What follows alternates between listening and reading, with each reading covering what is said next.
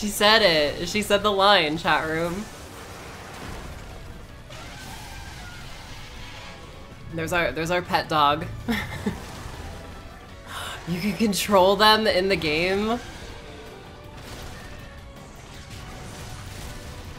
Oh my god, dude. Oh my god, Bayonetta 3! It exists! It's real!